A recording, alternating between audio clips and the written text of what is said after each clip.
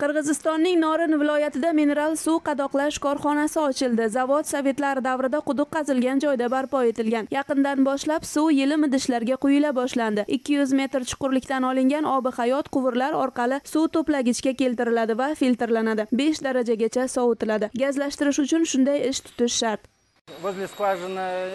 Quduq yonida hech qanday inshoot yo'q edi. Shunchaki suv chiqib yotardi. Qarindosh urug'lar bilan yig'ildik maslahatlashdik suv qadoqlashga qaror qildik. Kichkina sex qurdik va qadoqlay boshladik. Небольшой цех и начали разливать. ish soatiga bir necha yuz idishdan boshlangandi. Hozir deyarli mingta idish chiqariladi. Bugungi kunda korxona jamoasi eksport uchun sertifikat olish niyatida harakat qilyapti